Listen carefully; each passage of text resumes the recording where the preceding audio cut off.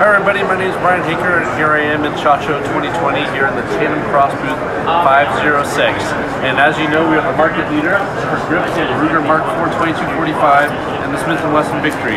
That gave us the confidence to this year announce brand hiveGrips for the AR-15, the same vibration dampening material and super tacky material we've now brought over to the AR-15 platform.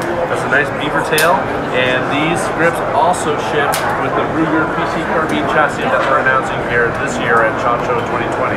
If you haven't tried these grips out and you're a competition shooter, come and check them out. You're gonna love them.